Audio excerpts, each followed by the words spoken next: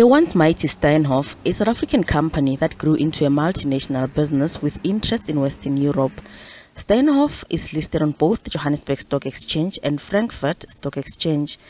Disaster struck in December of 2017 when accounting irregularities at the company surfaced, sending the share price nosediving. This led to a number of investors suffering huge losses.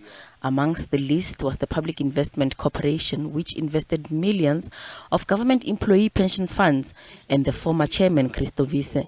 Steinhoff share price plunged over 90% after revelations of accounting irregularities on the 5th of December 2017.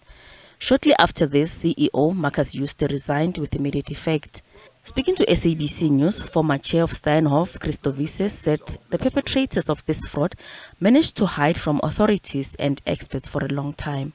If you consider that the perpetrators of this fraud, for a period of at least a decade, managed to hide the fraud from the internal auditors of the company, from the statutory auditors of the company, from the component auditors, from the regulators, from the ratings agencies, from the banks, from the institutions that lent Steinhoff tens of billions of rands. Yeah.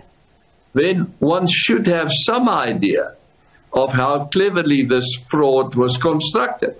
Here at home, the South African Reserve Bank has attached over a billion rand in assets linked to former Steinhoff International CEO Markus Jooste. This was after the Western Cape High Court granted the Reserve Bank an application to attach all assets linked to Jooste. The assets estimated at 1.4 billion rand include a house, a wine farm, and other valuable possessions held in a trust. The matter is linked to a case of an alleged contravention of exchange controls regulations against Jooste.